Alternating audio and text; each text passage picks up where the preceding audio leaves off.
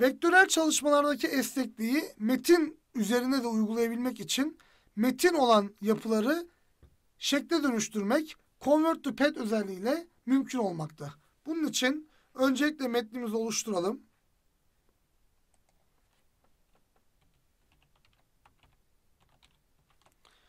Metnimizi sayfamız içerisinde ortalayalım.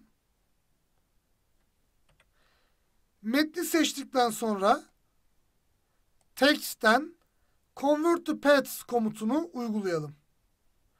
Bu aşamada oluşturmuş olduğumuz karakterler bir grup şeklinde fakat şekil halinde kullanımımıza hazır. Öncelikli olarak grubu seçiyorum.